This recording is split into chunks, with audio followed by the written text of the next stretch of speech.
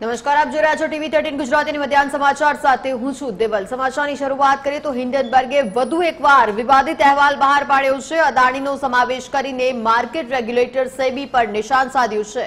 નવા રિપોર્ટમાં અદાણી જૂથ અને સેબીના વડા પર આરોપ લગાવવામાં આવ્યા છે. સેબીના ચેરમેન ઓફશોર એન્ટિટીમાં સામેલ હતા, જેનો ઉપયોગ અદાણી મની સિફનિંગ કૌભાંડમાં થયો હતો. સેબીના વડાનું નિવેદન સામે આવ્યું. હિન્ડનબર્ગના આરોપોના કોઈ સત્યતા નથી તેવું તેમના દ્વારા કહેવામાં આવ્યું. સાથે જ હિન્ડનબર્ગ રિપોર્ટમાં કરવામાં આવેલા આરોપો પાયા વિહોણા છે તેવું પણ તેમણે જણાવ્યું. અદાણી ગ્રુપ સામે ગંભીર આક્ષેપ કરનાર હિન્ડનબર્ગ રિસર્ચે હવે ભારતીય શેરબજાર નિયામક સેબીના ચેરપર્સન માધવીપુરી બુચ અને તેમના પતિ ધવલ બુચ ઉપર ગંભીર આરોપ મૂક્યો છે.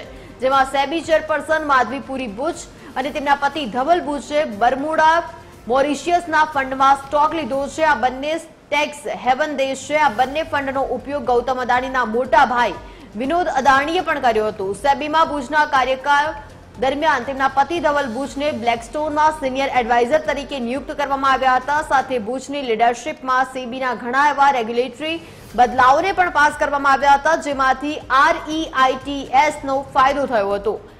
આ ઉપરાંત ઘણા આરોપો લગાવવામાં આવ્યા હતા, જો કે માધવીપુરી બુચે અને તેમના પતિએ હિન્ડનબર્ગ તરફથી લગાવવામાં આવેલા આરોપોને સંપૂર્ણપણે ફગાવી દીધા છે. બુચે એક જોઈન્ટ સ્ટેટમેન્ટ બહાર પાડતા કહ્યું, આ મામલે વધારે પારદર્શિતા માટે તેઓ આગળ વધારે જાણકારી આપશે. માધવીપુરે પુરી બુચે કહ્યું કે જે કંપની અમારી વિરુદ્ધ કાર્યવાહી કરી અને અમને નોટિસ મોકલી હતી, તેને અમારું ચરિત્ર હનન કરવાનો નિર્ણય કર્યો છે.